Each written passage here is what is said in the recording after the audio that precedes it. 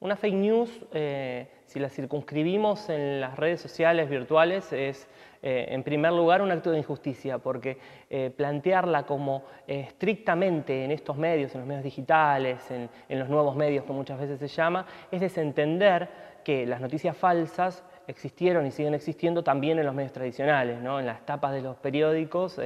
que, tienen eh, décadas o, más de 100 años en nuestro país algunos, eh, en la televisión, en informes televisivos que también operan bajo informes falsos o en la radio, donde se les ocurra. Pero sí es cierto que con la irrupción de los medios digitales por sus lógicas de consumo, tienen mucha fuerza y tienen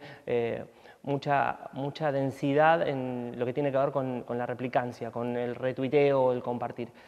En ese sentido, bueno, se postula como una narrativa propia de los nuevos medios eh, que, tiene sus características, no, es la selfie, no es el meme, no es eh, el GIF, que también, o el, posteo, eh, simple, sino que es eh, traer de otros, de otros espacios, de otras páginas web, informaciones y compartirlas como enlace que no nos consta la veracidad de sus contenidos. Entonces, eh, pueden tener diferentes eh, modos de construcción. Uno, el primero, tiene que ver con noticias que eh, tienen un título grandilocuente, pero cuando ingresamos a esa información nos damos cuenta que el propio cuerpo de la nota la contradice o atenúa aquello que nos prometía. En segunda instancia puede haber eh, noticias que tienen eh, un título falso, un título que, que exagera o que, miente y luego la nota lo sigue sosteniendo. ¿no? Hay páginas enteras eh, dispuestas eh, en este sentido ¿no? para proponer información falsa, pero dentro del rigor de los géneros periodísticos no nos va a sonar falso si estamos predispuestos a creerlas porque están contadas como crónica, como noticia,